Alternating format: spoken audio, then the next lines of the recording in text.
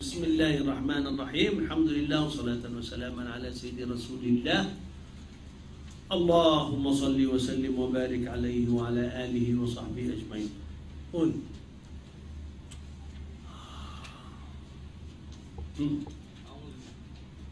أعوذ بالله من الشيطان الرجيم بسم الله الرحمن الرحيم.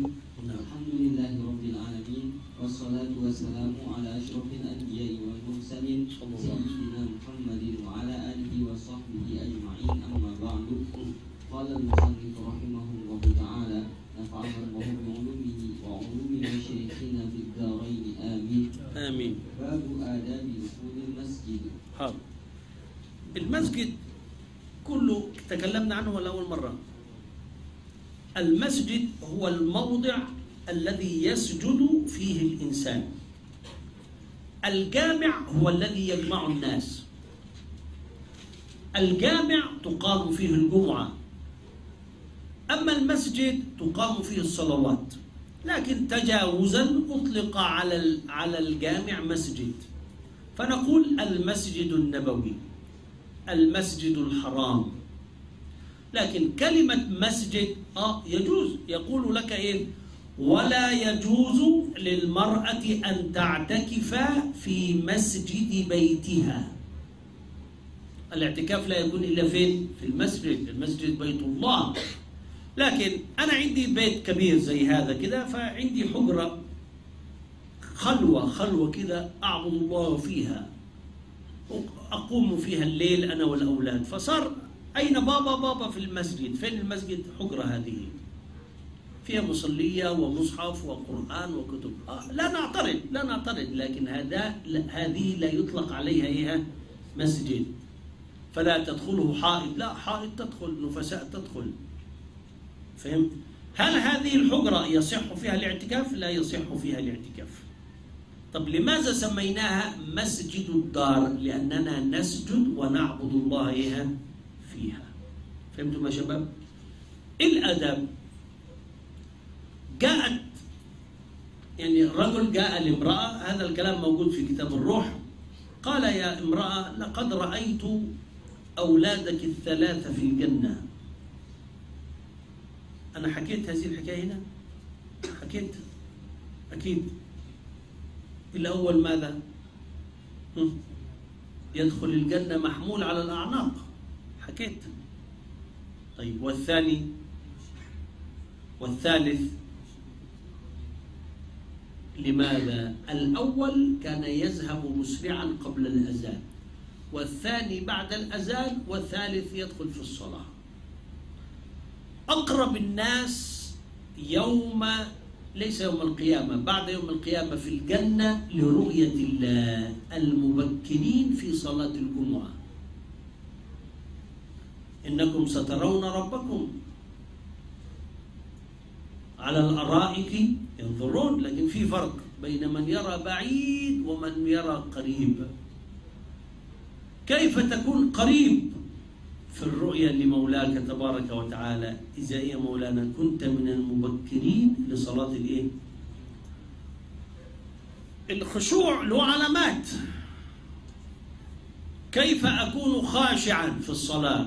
آه إن قرأت آيات رجاء تقرأ الآيات التي تعرف معناها. أسرع للخشوع اثنين إذا دخلت في الصلاة لابد أن تدرك تكبيرة الإحرام. ثلاثة تنظر إلى موضع السجود أربعة تسبغ الوضوء. خمسة تحضر مبكرا.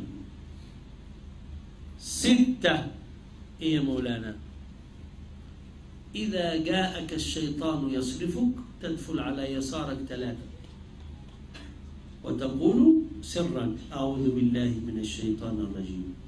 دي اسمها خطوات تجعلك إن شاء الله في خشوع. والخشوع يحتاج إلى مران ويحتاج إلى تدريب.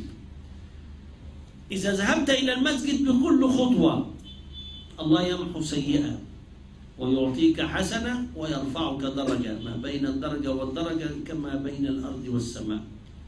بكل خطوة الله تبارك وتعالى حباك بملائكة وضعت أجنحتها عليك قال العلماء حقيقة. فمن يذهب إلى المسجد الملائكة تذهب معه حقيقة. طيب الملائكة تمشي ماذا تفعل؟ تشرب سجاير استغفر الله. تشرب بيبسي استغفر الله. وتمشي الملائكة تعمل إيه؟ تستغفر. تدعو. مرة مع مرة ولا زال العبد يتقرب إلى الله بالنوافل حتى أحبه. يا سيدي. فإذا أردت الدخول إلى المسجد فقدم رجلك اليمنى. آه. اليمنى عند الدخول. طب والخروج باليسرى. طب عند ارتداء النعل باليمنى.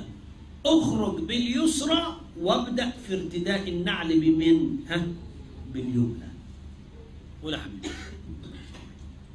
وقل اللهم صل وسلم على محمد وعلى آل محمد وصحبه وسلم. من قال محمد لا نعترض ومن قال على سيدنا تأدب لكن الشيخ عندما يذكر كأنه يذكر أقل القليل. يذكر أقل القليل. ولا شيء اللهم اغفر لي ذنوبي وافتح لي أبواب رحمتك. الغفران حاجتين. واحد المحو. اثنين الستر. الغفران ها؟ يمحو الذنوب كأنها لم تكن. اثنين موجودة لكن يسترها عنك فلا تراها ولا يفضحك أمام خلقه. ومهما رأيت في المسجد من يبيع أو يبتاع فقل لا أربح الله تجارتك. هذا في وقت الصلاة. هذا في وقت الإيه؟ الصلاة. قول يا سيدي وإذا رأيت فيه من ينشر ضالة فقل لا رد الله عليك ضالتك. حاضر. كذلك أمر رسول الله صلى الله عليه عليه وسلم. فإذا دخلت المسجد فلا تجلس حتى تصلي ركعتي تحية. ركعتين تحية المسجد سنة وتتحقق بأي صلاة. وتفوت بالمكث وطول القيام. رجل دخل المسجد في أي وقت حتى ولو كان في الأوقات الخمسة المنهي عنها الصلاة. صلي. لأنها صلاة لها سبب. حال ولا مؤجل؟ ها؟ حال. ما دامت الصلاة لها سبب حال يبقى هنا تصلي. في أي وقت مولانا؟ طيب. هذه الصلاة لو دخلت ووجدت درس علم وأنا أريد أن أجلس في مجلس العلم أصلي ولا أجلس؟ اجلس لأن مجلس العلم إما فرض كفاية وإما فرض عين. وفرض العين والكفاية يقدم على السنة المطلقة. اثنين إذا دخلت وتذكرت أنك لم تصلي فرضا قضاء صلي. طب إذا وجدت صلاة الجماعة صلي الجماعة تحققت التحية. طيب أما إذا دخلت فوجدت لوحة فأخذت تقرأ طال الوقوف. أو إذا دخلت وجلست. طيب طال الوقوف له ضابط الضابط العرف. العرف هو الذي يقول أنت انتهيت أو لم تنتهي. قول يا سيد لم تكن على طهارة أو لم تجد فعلها كفتك الباقيات الصالحات ثلاثا إيه الباقيات الصالحات سبحان الله والحمد لله ولا إله إلا الله والله أكبر ولا حول ولا قوة إلا بالله. ثلاث مرات. يعني المعنى لكن هو تحية المسجد لا يغني عنها شيء. طيب. أما الكعبة تحيتها الطواف سبعا ثم صلاة ركعتين. تحية الكعبة كم يا مولانا؟ ها؟ طواف كم؟ سبعة. ثم؟ ها؟ صلاة ركعتين. أنواع الطواف ستة.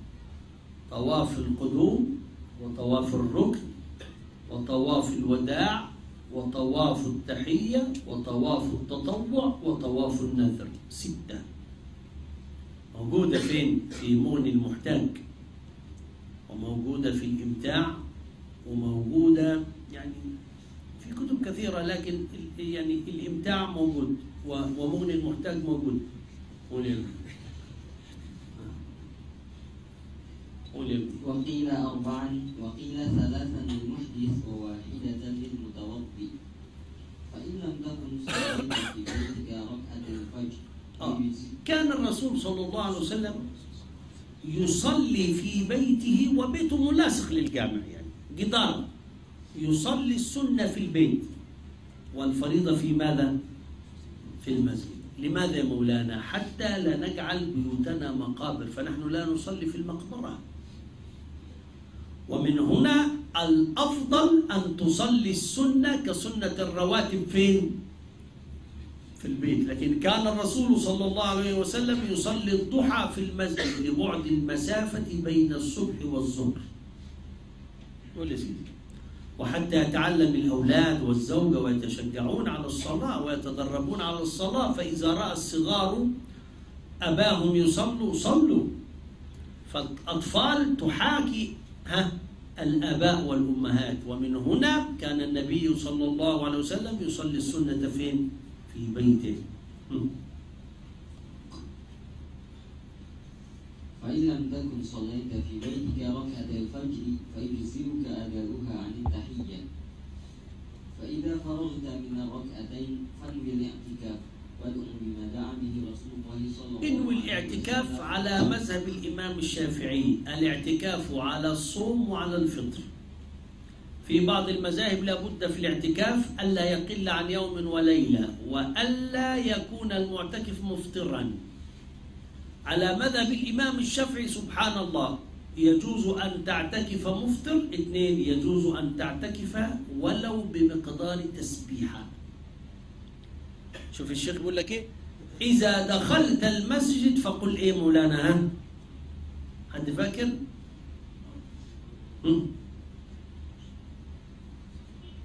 نويت الاعتكاف حتى أخرج من المسجد. خلاص.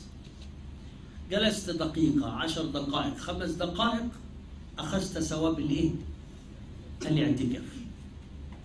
الاعتكاف أقله عندنا ولو بمقدار إيه مولانا تسبيحة. رجاء كلما دخلت الجامع كلما دخلت المسجد قل هذا الكلام. نويت الاعتكاف حتى أخرج من الإيه مولانا من المسجد. قول يا سيد وادعو بما دعا به رسول الله صلى الله عليه وسلم بعد ركعتي الفجر. عندنا دعاء للدخول وعندنا دعاء للخروج. أجمل كتاب يذكرك بهذا كله الأذكار للنووي. قال مولانا الصديق بن علان بيع الدار واشتري الأذكار. أجمل كتاب. إن شاء الله إن يعني نحن نفعل نقرأه بإذن الله. نقرأ الأذكار للإمام النووي لكن غالبا قبل يوم القيامة إن شاء الله. قول يا ابني فقل اللهم إني أسألك رحمة من عندك تهدي بها قلبي. يا سلام يا سلام. شوف شوف.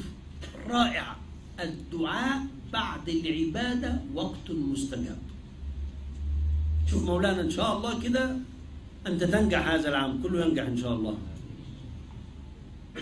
بعدما تتصل بالتليفون يا أبي نعم أنا أنجح هذا العام الحمد لله. الحمد لله ها تقدير إيه مولانا؟ اللهم اجعلنا من عبادك المقبولين. مقبول؟ أيوة. عاوز إيه؟ أنا عاوز سيارة. ممكن أبوك يجيب لك سيارة لكن سيارة موديل سنة 1001 يا أبي نعم أنا أنجح الحمد لله. ها أنا امتياز. يا سلام. عاوز إيه؟ عاوز سيارة. ممكن أبوك لا يأتي بسيارة. يقول لك لا توجد سيارة تستحقك. فامتياز حاجة كبيرة. فلا يوجد سيارة تليق بمن يحصل على امتياز. لا بد نشتري له طيارة. شوف وقت النجاح تطلب من الأب الأب يعطي. السلام عليكم ورحمة الله. السلام عليكم ورحمة الله. أستغفر الله. الله يغفر ليه مولانا لأنك جعلت الاستغفار بعد طاعة الله يحبها. فأفضل العبادات عند الله الصلاة. فبعدما تسلم أنت تستغل الفرصة. أنت تأتي لله في الوقت الذي يحبك فيه. بعد العبادة يا رب صائم عند الإفطار دعاء مستجاب؟ صح ولا مش صح؟ ليه مستجاب؟ انتهاء عبادة. دائما بعد العبادة الله يستجيب. ومن هنا الشيخ صلى ركعتين تحية المسجد ثم يدعو. اختار وقت فيه الدعاء مستجاب. قول يا سيدي. وتجمع بها شملي وتلم بها شعثي آه يعني يقول يا رب أنا متفرق اجمعني أنا فقير اغنيني أنا محتاج أعطيني ما أريد وزيادة. إن لم تطلب من مولاك ممن تطلب؟ العبد يغضب إن أتيت سؤاله والرب يغضب إن تركت سؤاله. سبحان الله. وترد بها ألفتي وتصلح بها ديني. آه الألفة بمعنى ال- ال- الاجتماع على الحب. ألفة. الله يجمعنا على الألفة الله يجعل بيننا ألفة اجتماع الحب فأنا أحبك وأنت تحبني ونحن نحب فلان كده. كله كله بيحب بعضه أنا وأنت وهو في في محبة كده. قول يا ابني. وتصلح بها ديني وتحفظ بها غائبي وترفع بها شاهدي وتزكي بها عملي. تزكي يعني تمدحه. تنميه. خلاص. ترد غيبتي إذا ذكرت بسوء وأنت غائب الله يرد يبعث من يدافع عنك. من الأسرار في رد الغيبة المكسر من الصلاة على رسول الله الله يرسل من يرد غيبته. من يصلي على رسول الله كثيرا صلى الله عليه وسلم. إن واحد يغتابك سبحان الله الله يرد يرد هذا الكلام. ابني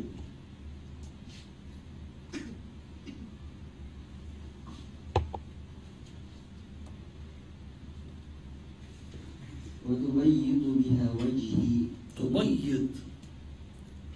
تبيض ولا تبيض؟ تبيض. كيف يكون وجهك أبيض بقراءة السنة؟ كيف وجهك يكون في نور بالصلاة على رسول الله صلى الله عليه وسلم وبصلاة الصبح؟ كيف يبيض وجهك يوم القيامة؟ ها؟ بالدفاع عن السنة. الدفاع عن مين؟ عن السنة. قول يا سيدي. وتلهمني بما بها رشدي وتقضي لي وتقضي لي بها حاجتي. الرشد هو يعني يعني كمال كمال التصرف. يسمى رشيد. رشيد يعني في حكمة في وضع الأمور والحكمة هي هي وضع الأمور في نصابها. فلان هذا رشيد عكسه فلان هذا سفيه. فالرشيد هو من يعرف حقائق الأمور من يقدر الأمور بمقاديرها الواضحة. قول يا ابني. وتعصمني بها من كل سوء. اللهم العصمة الحفظ والحماية. العصمة هي الحفظ والحماية. عصمة الأنبياء لا يرتكبون الذنوب. عصمة الأولياء الله يحفظهم من ارتكاب الذنوب. اللهم إني أسألك إيمانا اللهم يعني يا الله والميم ميم الجمع. ولا يجوز أن تقول يا اللهم. لا يجوز. خلاص. اللهم يعني يا الله. والميم ميم الجمع فإنت إذا قلت اللهم كأنك تقول يا الله يا واحد يا أحد يا فرد يا صمد بكل الأسماء. قول يا سيد أمي. اللهم إني أسألك إيمانا دائما يباشر قلبي. آه يعني إيه إيمان دائم. خير الأعمال أدومها وإن قل. مباشر يعني يدخل القلب فما كان من القلب وصل. والقلب هو بيت القصيد. والقلب هو محل التكليف والقلب صلاحه صلاح البدن. وما على اللسان ما هو إلا في قاع القلب. فما القلب إلا قدر إناء وما اللسان إلا مغرفة. فإذا كان في القلب إيمان أخرج اللسان إيمان.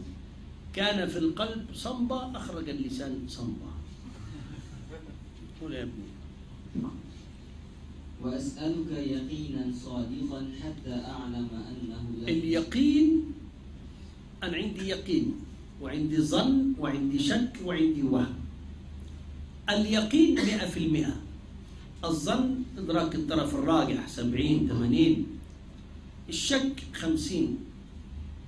الوهم إدراك الطرف المرجوح ثلاثين أربعين عشرين. أنت تريد الظن ولا تريد اليقين؟ اليقين.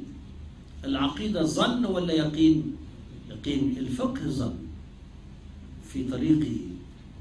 لكن إذا توصلت إلى الحكم واقتنعت به صار إيه؟ صار يقينا. قول يا سيدي. حتى أعلم أنه لن يصيبني إلا ما كتبته علي. وردني بما بما قسمته. وارضني ارضني ارزقنا الرضا. ما هو الرضا؟ الرضا هو أن تسعد بما وهبك الله. ولا تطلب شيئا عند غيرك. فالرضا زهد زائد قناعة. زهد زائد يسمى يا مولانا رضا. فإن يرضى يستقيم. فاستقم كما أمرت زهد. اثنين قناعة. ما معنى زهد؟ لا ينظر ماذا عند الناس ولا يبالي. لو تترك الدنيا الله يحبك ولو تترك فيما عند الناس الناس تحبك. هذا اسمه زهد. طيب. القناعة إيه القناعة؟ إيه ما معنى القناعة؟ القناعة أن الله إذا وهبك نعمة تسعد بها. كأنك أخذت النهاية. ها فلان جاء يأكل وجد رغيف من الخبز. يأكل ولا لا يأكل؟ يأكل. الآخر وجد رغيف من الخبز هو زعلان كان يريد دجاجا. هذا أكل الرغيف يشبع والآخر يأكل الرغيف ويشبع لكن في فرق. الأول أكل وهو راضي. أما الثاني أكل مضطر. فهمت مولانا؟ الأول قال الحمد لله. من قلبه أما الثاني قال الحمد لله من فمه في فرق بين الحمد لله من القلب تصل إلى الله وبين الحمد لله من الفم فهي لا تتجاوز الإيه؟ الحناجر. وعلى الله ماذا؟ القبول. ابني وردني بما قسمته لي يا رب. اللهم إني أسألك إيمانا صادقا. هو في إيمان غير صادق آه. في إيمان المشككين والمزعزعين. في إيمان من يعبدون الله على حرف. لكن نحن لا نريد نحن نريد إيمان صادق. أعظم شيء أن يكون الإنسان صادق مع نفسه. من أعرف الناس بك؟ أنت. فإن كنت لا تعرف نفسك ضاعت الدنيا وما فيها. كل واحد يعرف نفسه هو على حق ولا على باطل؟ فأنا أريد إيمانا ها صادقا صادق مع نفسك حتى تصدق مع مولاك. أما لو كنت كاذب مع نفسك أنت تكذب على مولاك لكن أعظم وأخطر ما في القرآن قال السيوطي أخطر ما في القرآن ويحذركم الله نفسه. إن تطافق تنافق نفسك أنت مجنون لكن تنافق الله الله يعرف يعرف أمورك قبل أن تفعلها. قل يا سيدي. ويقينا ليس بعده كفر. وأسأل مش مش وأسألك رحمة أنال بها شرف كرامتك في الدنيا والآخرة. لأن إذا رحم رحمك في الدنيا سيرحمك في الآخرة. إن الله حديث أخرجه البخاري قسم رحمته مئة قسم جعل في الدنيا قسما واحدا وادخر اليوم القيامة تسعة وتسعين قسما متى تبدأ الرحمة في يوم القيامة؟ يوم القيامة لا يبدأ من من حيث يموت الناس، يبدأ من حيث أنت تموت. فمن مات قامت قيامته. والقبر أول منازل الآخرة. قول يا سيدي.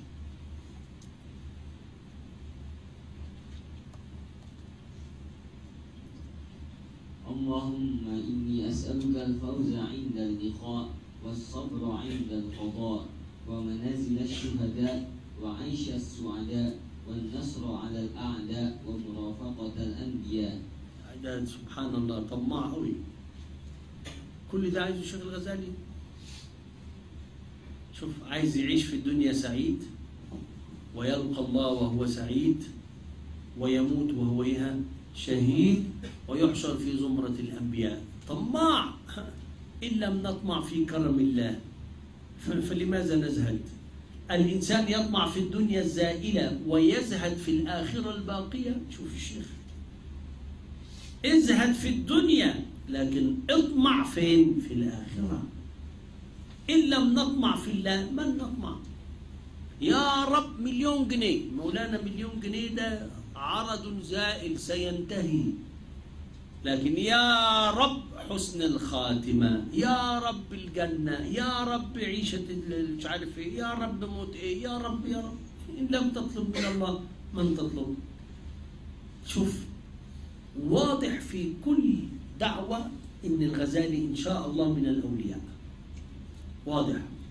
في كل دعوة واضح إن هو ليس من أهل الدنيا. في كل عبارة واضح أنه عنده مقصود. إيه مقصوده؟ كان السادة النقشبندية يقولون إلهي أنت مقصودي ورضاك مطلوبي. يقولونها في أذكارهم اليومية. فهو يقول الله الله مئة مرة. بعد المئة يقول إلهي أنت مقصودي ورضاك مطلوبي. تحديد الهدف. ماذا تريد؟ أنا أريد الله؟ إذا كل ما في الدنيا يوصلني لله. طب الآخرة؟ لا نريد شيئا من أحد وإنما نريد من الله. فإذا كنت معه في الدنيا هل تعتقد أنه سيتركك في الآخرة؟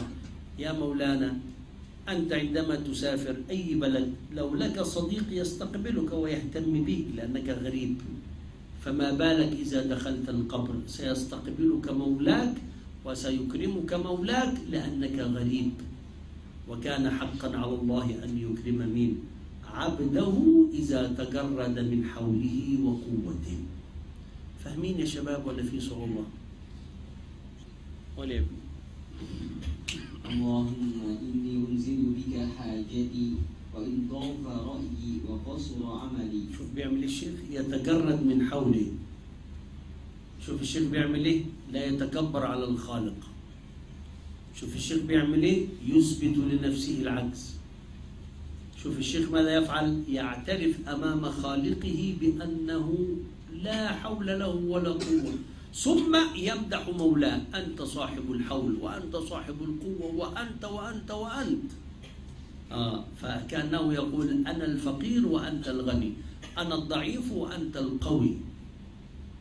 يلا يا سيدي. وافتقرت إلى رحمتك فأسألك يا قاضي الأمور ويا شافي الصدور. كما كما كما تجير كما تجير بين البحور أن تجيرني من عذاب السعير ومن فتنة القبور. تجيرني؟ تبعدني. من جارة لأن الجار بعيد عنك. ومن دعوة حاضر اللهم وما قصر عنه رأيي وضعف عنه عملي ولم تبلغ طب أنا مش حافظ هذا الدعاء. ولا أعرف كيف أحفظ هذا الدعاء. يا مولانا ادعو بعد صلاة الركعتين بما في القلب فما خرج من القلب وصل. سنة أن تدعو بالوارد لا نعترض لكن إن لم تحفظ الدعاء لا تحمل نفسك ما لا تطيق. أي دعوة؟ إن لم تحفظ الدعاء أي دعوة ما كان من القلب ها وصل ولم تبلغه نيتي وأمنيتي من خير وأنته أحدا من عبادك أو خير أنت معطيه أحدا من خلقك فإني أرغب إليك فيه وأسألكه يا رب العالمين حاضر. اللهم اجعلنا هادين مهتدين غير ضالين ولا مضلين حربا لأعدائك وسلما لأوليائك نحب بحبك الناس ونعادي بعداوتك من خالفك من خلقك اللهم هذا الدعاء ومنك الإجابة آه، شوف بيعمل إيه أنا اخذت بالاسباب ها عاوز إيه يا رب أنا ادعو وانت تجيب اخذ الشيخ بالأسباب. اللهم مني الدعاء ومنك الإيه؟ ما من دعوة يدعوها الإنسان إلا وواحد من ثلاثة. الخير أن تتحقق الآن فتتحقق. الخير أن تتحقق مع التأخير فتتأخر. الخير ألا تتحقق فتحصل على الأجر والثواب يوم القيامة. إذا ما من شخص يدعو إلا ويربح يربح. يا رب الآن الآن نريد مليون جنيه. الله أعلم لو وقع مليون جنيه الآن ممكن كل الطلاب تجري تريد المال صح؟ وهذا يمسك وهذا يمسك تمزق المال. ثم فسد الدرس. ثم واحد يأخذ المال ويجري. زي الواد كلندن ده حرامي ممكن يأخذ المال ويجري. آه. طب الآن لم يأتي مليون جنيه. نحن في هدوء. نحن في سكينة. نحن في درس. لا يوجد عداء. أدي المال. طيب. ممكن يأتي المليون لكن متى يأتي المليون؟ بعد خمس سنوات. ليه مولانا؟ أنت انتهيت من الكلية تحتاج إلى زواج تحتاج إلى بناء بيت. هنا مفيد. مولانا نعم لو الله رزقك بمليون جنيه ممكن تصنع مشروعات واستثمارات قد تترك العلم وتترك المذاكرة وتترك الصلاة كمان. لا خليك كده. إن الله اطلع فعلم أن أناسا أو عبادا لا يصلحهم إلا الغنى فأغناهم. وعلم أن أناسا لا يصلحهم إلا الفقر فأفقرهم. خلاصة كلام أهل الله مقامك حيث أقامك. أفضل حال لك هو ما أنت فيه الآن. مقامك حيث إيه أقامك. ده ليس كلامي ده كلام ابن عطاء الله السكندري انتقل سنة 709 إذا أردت أن تعرف ما موقعك عند الله واضح كلام الشيخ. مقامك حيث إيه؟ أقامك. خلاصة الكلام ما من دعوة إلا ولها أجر ما من دعوة إلا والداعي ربحان ليس خسران. قالوا إذا جاء الإنسان يوم القيامة ورأى ما أعده الله له من أجر وثواب قال يا رب ليتك ما استجبت لي دعوة. ثواب عظيم لكل دعوة دعا بها الإنسان ولم تتحقق. قل يا سيدي.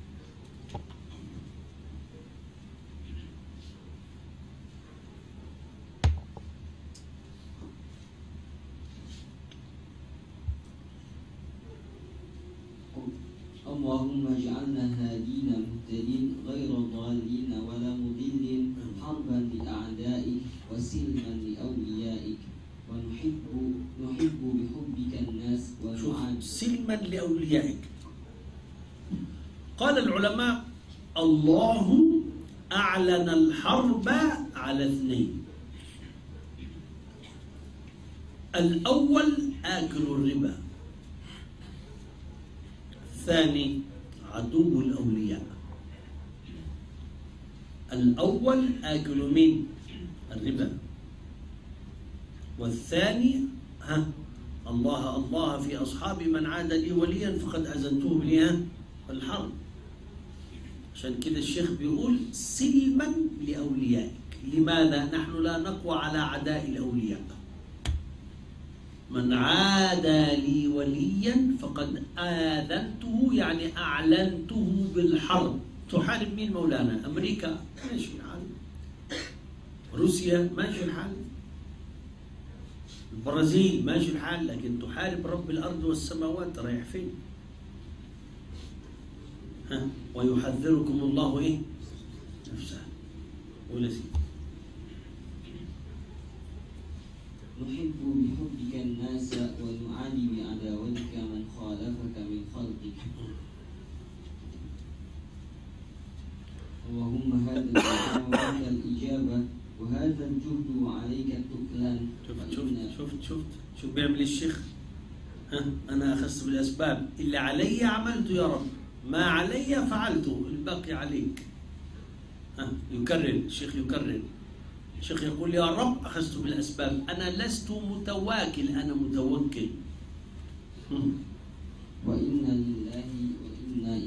راجعون ولا حول ولا قوة إلا بالله العلي العظيم. اللهم يا ذا الحبل الشديد والأمر الرشيد. أسألك الأمن يوم الوعيد والجنة يوم الخلود. مع المقربين الشهود والركع السجود. الموفين لك بالعهود. إنك رحيم ودود وأنت تفعل ما تريد. كلمة ودود يعني محب. الودود المحب ها. شهود يوم القيامة. الشهود يوم الإيه؟ قيامة. قول يا سيدي. سبحان من لبس المجد. سبحان من من المجد بمعنى العظمة. وسبحان بمعنى تقدس وتنزه. ها. سبحان من اتصف بالعز وقال به. سبحان من لبس المجد وتكرم به. سبحان من لا ينبغي ينبغي التسبيح إلا له. ها؟ عمرك رأيت واحد يقول سبحان الجبال؟ ها؟ سبحان هبل كلمة سبحان لم تقال أبدا إلا لله. سبحان الشيخ فلان؟ مستحيل. لكن في شيخ اسمه سبحان. من مشايخ الدكتور رفعت اسمه سبحان. اسمه كده. لكن لا أحد يقول سبحان فلان. إن قال لا يقول إلا سبحان الله. قول يا سيدي. وسبحانه بمعنى تقدس وتنزه عن كل نقص. سبحان ذي الفضل والنعم سبحان ذي الجود والكرم سبحان الذي أحصى كل شيء بعلمه. أحصى بمعنى جمع وعد. لكن هنا بمعنى أحاط. مم. اللهم اجعل لي نورا في قلبي ونورا في قبري ونورا في سمعي. آه، نور القلب أستغفر الله. ولا إله إلا الله. وكمان والصلاة على رسول الله هنا القلب ينور. كل آية تقرأها تنور. كل حديث ينور. هذا نور مين؟ نور القلب. نور القبر أن تقرأ سورة الملك. تبارك الذي بيده الملك وهو على كل شيء قدير. هذا حديث رواه الترمذي. ها سورة الملك تبارك تغفر الذنب و- وتنير القبر. ونورا في سمعي ونورا في بصري ونورا في شعري ونورا في بشري. ونورا في لحمي ونورا في دمي ونورا في عظامي ونورا من بين يدي ونورا من خلفي ونورا عن يميني ونورا عن شمالي ونورا من فوقي ونورا من تحتي. هذه أوصاف العبد الرباني. من إذا رأيته تذكرت الله. كان مولانا القاضي أبو شجاع عاش تقريبا 160 سنة. لم يخلع درس. أسنان قوية. قالوا كيف مولانا؟ قال ما عصيت الله بها في صغري فحفظها الله لي في كبري. فإذا عبدت الله بالأعضاء ولم تعص الله بالأعضاء الله صان لك هذه الأعضاء. اللهم زدني نورا وأعطني نورا أعظم نور واجعل لي نورا برحمتك يا أرحم الراحمين. آمين. فإذا فرغت من الدعاء فلا تشتغل إلى أداء الفرض إلا بفكر أو تسبيح أو قراءة القرآن. ليه مولانا. قالوا من علامات قبول الطاعة أن ترزق بفعل طاعة بعدها. إذا أردت أن تعرف الله يقبل أو يرد. قالوا من علامة الطاعة المقبولة أن ترزق بطاعة بعدها. سيدي.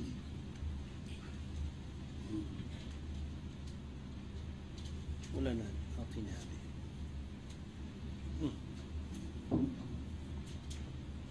فإذا سمعت الأذان في أثناء ذلك فاقطع ما أنت فيه واشتغل بجواب المؤذن. ليه يا مولانا ها لا تبطلوا الذكر بالذكر. لا تبطلوا الذكر بالذكر. أنت تسبح والأذان يؤذن ها؟ اترك التسبيح وكرر ما يقول المؤذن. لماذا؟ لأن الأذان ينتهي. الأذان ماذا يا مولانا؟ ينتهي. فرجاء تفعل ما يفعل المؤذن. قولوا مثل ما يقول المؤذن ثم صلوا عليه. فإذا قال المؤذن الله أكبر الله أكبر فقل مثل ذلك. وكذلك في كل كلمة الأذان هو الإعلام. والأذان حكمه سنة كفاية. والأذان هو السنة الوحيدة الذي إن لم تفعل قاتل الإمام من لم يفعله.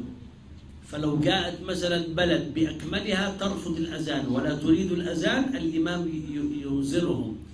فإن لم يستجيبوا حاربهم حتى يطبقوا هذه السنة وهي السنة الوحيدة. الأذان هو إخبار بأن يوجد في هذا المكان مسلم. وكذلك كم عدد ألفاظ الأذان؟ ها، تسعة عشرة كلمة. كم عدد الإقامة؟ ها، إحدى عشرة كلمة. سنة للمؤذن أن يكون على وضوء. فإن كان نقض وضوءه مكروه فإن كان جنبا أشد كراهة. المرأة تؤذن ولا لا تؤذن؟ ها؟ لم يجيز أذان المرأة إلا امرأة واحدة فقط. لم يقل أحد بأن أذان المرأة يجوز إلا امرأة واحدة فقط. المرأة تقيم لا تؤذن. خلاص؟ سيدي. وكذلك في كل كلمة إلا في الحيعلتين حي على حي على الصلاة يقول لا حول ولا قوة إلا بالله. حي على الفلاح يقول لا حول ولا قوة إلا بالله.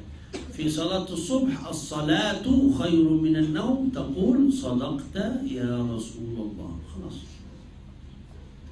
فقل فيهما لا حول ولا قوة إلا بالله العلي العظيم. متى شرع الأذان؟ شرع في العام الأول للهجرة. برؤيا رآها مين؟ اسمه إيه الصحابي الذي رآه؟ لا ليس عمر قبل عمر. عبد الله بن زيد. في العام الأول.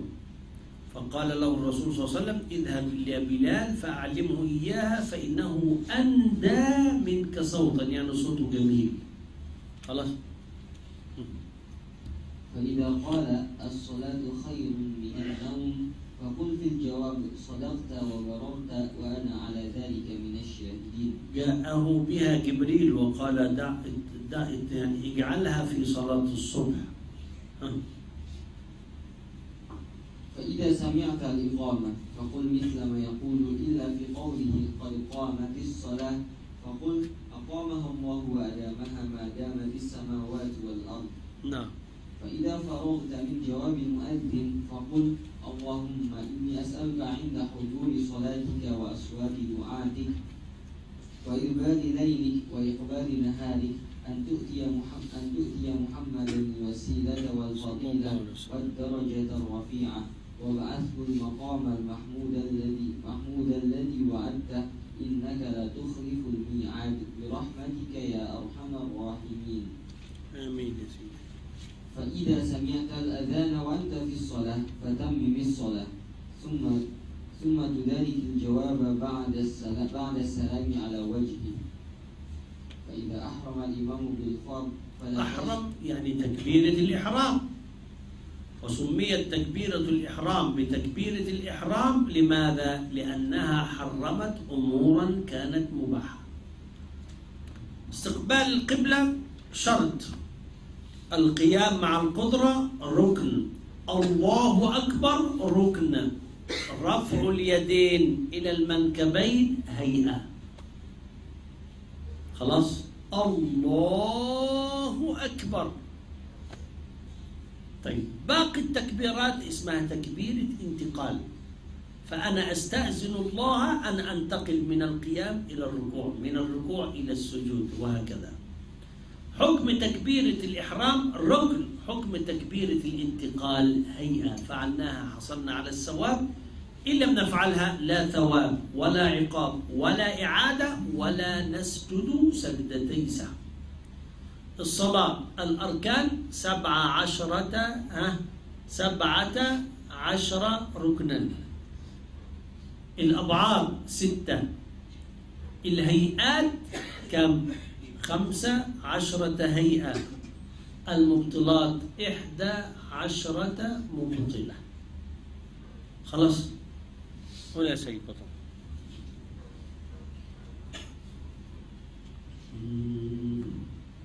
فلا تشتغل فإذا أحرم الإمام بالفرض فلا تشتغل إلا بالاقتداء به. ليه يا مولانا؟ لأنك لو تهاونت في تكبيرة الإحرام في مشكلة. طيب ولو تهاونت وانشغلت عنه إلى أن ركع ثم أدركت في الركوع وفاتتك الفاتحة الركعة باطلة. متى تغني فاتحة الإمام عنك؟ ها إمتى؟ إذا لم تكن مقصر. إذا لم تكن إيه؟ مقصر. يلا يا شباب عشان سيد موسى عايزين يعمل دلوقتي. وصل الفرض كما سيتلى عليك في كيفية الصلاة وآدابها. فإذا فرغت فقل اللهم صل على محمد صلى الله عليه وسلم. محمد وسلم. اللهم أنت السلام ومنك السلام وإليك يعود السلام. فحينا ربنا بالسلام. وأدخلنا دارك دار السلام. تباركت وتعاليت يا ذا الجلال والإكرام. دار السلام اسم من أسماء الجنة. دار السلام اسم من أسماء الجنة. سبحان ربي العلي الأعلى الوهاب. لا إله إلا لا إله إلا الله وحده لا شريك له. له الملك وله الحمد. يحيي ويميت وهو حي لا يموت. بيده الخير وهو على كل شيء قدير. لا إله إلا الله أهل النعمة والأهل النعمة والمنة. والفضل والثناء الحسن. لا إله إلا الله ولا نعبد إلا إياه. مخلصين له الدين ولو كره الكافرون. الإخلاص أن ترى الله في العمل. الرياء أن ترى الخلق في العمل. أن ترى الخلق أخذت أجرك في الدنيا. فقالوا أنك من المتصدقين من المزكين من المتبرعين من العلماء من من من قالوا أما إذا رأيت الله في العمل فإن الله يجازيك عنه يوم القيامة. ما الفرق بين الإخلاص والرياء؟ شعرة أن ترى الله أن ترى الناس. لكن في تلك الصورتين ستعمل ستعمل. ومن هنا الخسران من باع آخرته لدنيا غيره. قول وهو ما علمه رسول الله صلى الله عليه وسلم عائشة رضي الله عنها. عائشة زوجة الرسول صلى الله عليه وسلم انتقلت سنة 58 هجرية ودفنت في البقيع. وهي الزوجة الوحيدة التي تزوجها بكرا صلى الله عليه وسلم. وهي أعلم زوجاته على الإطلاق. روت ها 2210 حديث. روت 2210 حديث. يليها في العلم زينب بنت جحش. يليها السيدة حفصة. قول يا سيدي. ما علمه رسول الله صلى الله عليه وسلم عائشة رضي الله عنها فقل اللهم إني أسألك من الخير كله عاجله وآجله ما علمت منه وما لم أعلم. وأعوذ بك من الشر. أعوذ والمساعدة من الله. أعوذ اعتراف بالعجز. أعوذ أطلب المساعدة. ما دمت تطلب المساعدة أنت آه، حادث والحادث لا يجوز له أن يكون إله. خلاص؟ أنت تعبد مين؟ أنت تعبد القديم. أنت تعبد مين؟ القيوم. ما معنى القيوم؟ لا يحتاج لأحد. أنا وأنت في احتياج لأننا لسنا قيوم. قول يا سيدي.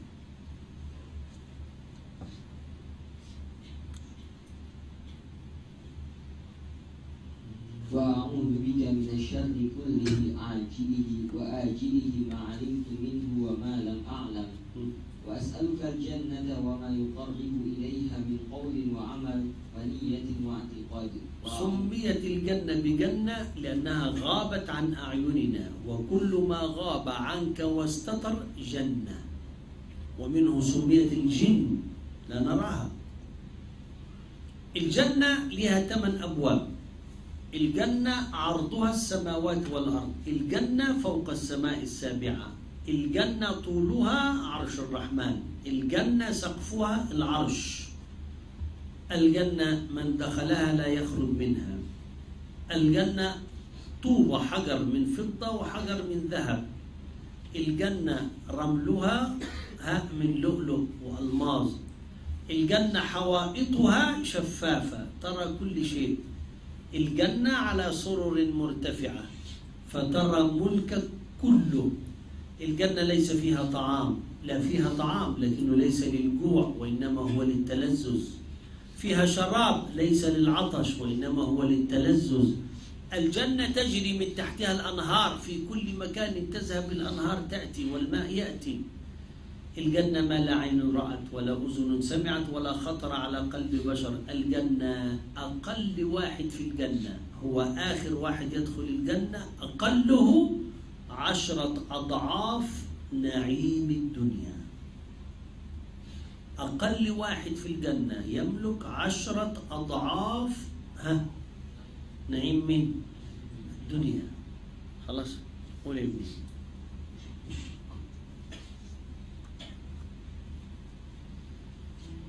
وأعوذ بك من النار وما يقرب إليها من قول وعمل ونية واعتقاد. وأسألك من خير ما سألك منه عبدك ورسولك. صلى الله عليه وسلم. وأعوذ بك من شر ما استعاذك منه عبدك ورسولك محمد صلى الله عليه وسلم.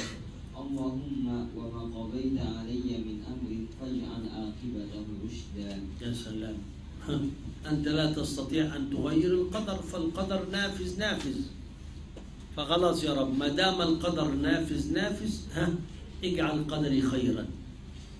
قول سيدي. ثم نؤمن بما أوصى به رسول الله صلى الله عليه وسلم فاطمة رضي الله عنها. فاطمة بنت الرسول صلى الله عليه وسلم انتقلت خمسة رمضان سنة 11 زوجها مولانا علي أنجبت له خمسة الحسن والحسين ومحسن وزينب وأم كلثوم.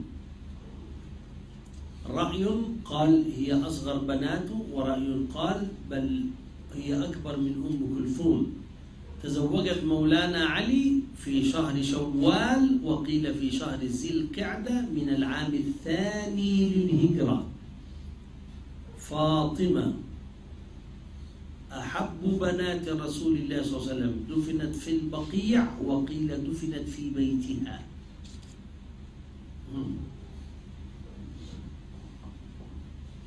ثم دعوا فقل يا حي يا قيوم يا يا حي يا قيوم قال الإمام النووي أن الحي القيوم هو اسم الله الأعظم.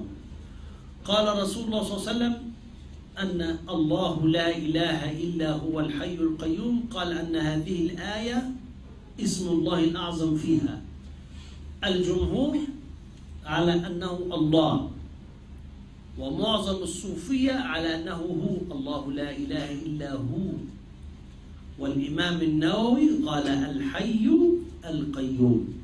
اسم الله الأعظم هو أعظم الأسماء وقد خبأه الله حتى ندعوه بكل الأسماء. فإن الله خبأ شيئا في أشياء حتى تفعل كل الأشياء. يا ذا الجلال والإكرام لا إله إلا أنت. برحمتك أست- أستغيث ومن عذابك أستجير لا تك- لا تكلني إلى نفسي ولا إلى أحد تكلني يعني تسند أمري إليها تجعل أمري عندها. وأصلح لي شأني كله بما أصلحت به الص- به الصالحين. ثم قل ما قاله عيسى على نبينا وعليه الصلاة والسلام. عيسى آخر أنبياء ها؟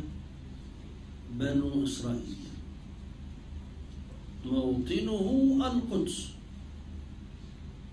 أين هو؟ في السماء الثانية وقد رفع إليها حيا ولا مات حيا. اللهم إني أصبحت لا أستطيع دفع ما أكره ولا أملك نفع ما أرجو وأصبح الأمر بيدك لا بيد غيرك وأصبحت مرتهن مرتهنا بعملي فقير مرتهن يعني محبوس فالرهن لغة الحبس. مرتهنا بعملي أي محبوس بعملي. فإن قدرت لي أن أعمل الخير أدخلتني الجنة برضاك. وإن قدرت لي أن أعمل السوء دخلت الجنة بسبب عملي ونفسي. فلا فقير أفقر مني إليك ولا غني أغنى منك عني الله اللهم لا تشمت بي عدوي تشمت يعني تجعل عدوي يفرح بما أصابني من مصائب. الشماتة هي أن تفرح بالمصيبة التي أصابت عدوك أو غيرك. ولا تسؤ بي صديقي ولا تجعل ولا تجعل مصيبتي في ديني ولا تجعل الصديق الصديق هو الذي يفرح لفرحي ويغضب لغضبي الصديق هو الذي يفرح لفرحي ويغضب لغضبي ولا تجعل الدنيا أكبر همي ولا مبلغ علمي. يعني إيه؟ يعني لا تجعل الدنيا تشغلنا عن الآخرة. فمن كانت الدنيا همه نسي الآخرة. ولا تسلط علي بذنبي من لا يرحمني. يعني إيه؟ الإنسان إذا ارتكب الذنوب استحق الغضب من الله. فكأنه يقول يا رب لا تجعلني ممن غضبت عليهم من جراء فعلهم للذنوب. فلا تجعل ذنبي سببا في غضبك. فإن تغضب علي لا تبالي في شيئا. ثم ادعوا بما يد دعاء كل دعاء كل دعاء لا تخف الفصل كله دعاء. قول يا ابني. ثم ادعوا بما ي- بما بدأ لك طيب،. من الدعوات المحسورات مم. واحفظها مما أوردناه في كتاب الدعوات من كتاب إحياء علوم الدين. هذا الكتاب كما قلت لحضراتكم ده إحالة. إحالة موجود في كتب الأقدمين. هو يتكلم في هذا الكتاب ثم يحيلك إلى الإحياء. وقلت لك أن هذا الكتاب صنف بعد الإحياء وهو اختصار لكتاب الإحياء. فكأنه يقول هذه قطرة من بحر. فمن أراد المزيد فليقرأ في ماذا؟ ها؟ فليقرأ في إحياء علوم الدين. ألفه في 18 سنة. وألفه في سوريا. قال مولانا السقاف من لم يقرأ الإحياء فليس من الأحياء. اللهم صل أفضل صلاة على أسعد مخلوقاتك سيدنا محمد وعلى وصحبه وسلم عدد معلوماتك ومداد الذاكرون